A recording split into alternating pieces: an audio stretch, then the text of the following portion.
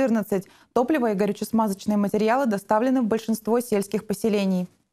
Северожилкомсервис полностью завершил поставку угля, бензина, масел и смазок в поселение, расположенное по речному направлению. Продолжается завоз по реке дизельного топлива. В ближайшее время им обеспечат Макарова, Андик, Осколково и Кую. В целом обеспечение дистопливом составляет порядка 87%, по морю 85% от общего количества. Каменного угля и дров доставили 81 и 74% соответственно. Поселок Амдерма первая партия дизельного топлива поступит в начале следующей недели. Ждем танкер 27-28 августа. Он идет по маршруту следующего Воронды, Нижняя Пюша, а затем к нам везет по предварительным данным 1000-1200 тонн э, дизельного топлива. Э, почему 1000-1200? Там есть вопрос у них. Они где-то 200 тонн или оставят, или привезут к нам.